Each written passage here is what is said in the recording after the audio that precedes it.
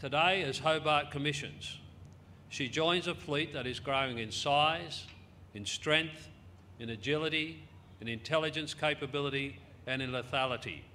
An extraordinarily capable fleet that provides our island continent with the sure shield at sea it needs for the decades ahead. Hobart is an awesome ship. She has been described as the most capable and complex warship we've ever operated. She is very much a destroyer. However, without the 185 men and women here before you today, she can only ever be a ship alongside. To be a warship requires their individual and specialist skills and the collective teamwork to work at sea together. Please know that when you let go lines, you will do so with the admiration and respect of our nation. Command to tactical. Captain.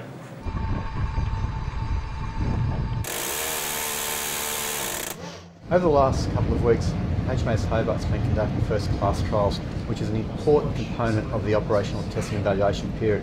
It's one step, but an important step of getting our ship ready for operations, which is initial operating capability. First class trials are about setting the baseline for a new class of ship and finding out its true capabilities and limitations and then saying this is how we do this particular evolution for the entire class of the ship.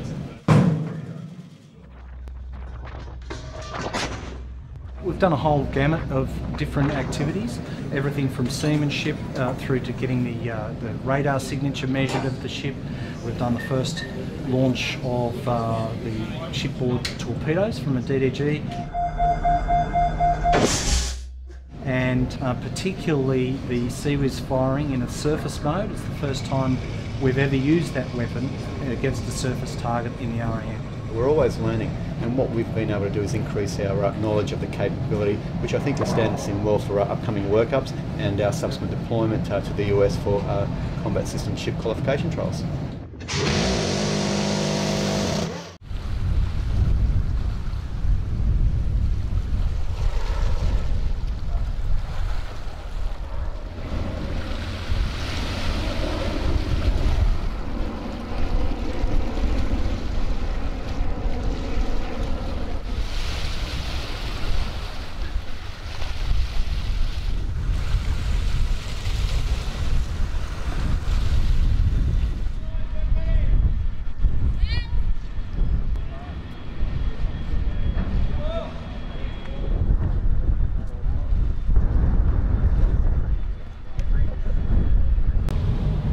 It's been an outstanding visit here to Hobart, our inaugural port visit following our uh, commissioning out late last year. Look, it's been a busy uh, program, but an important one to uh, support this great city. So apart from arriving uh, last Friday, on Saturday we had our important Freedom of Entry uh, march through the city of Hobart, where we were met by a lot of the locals, followed by a civic reception.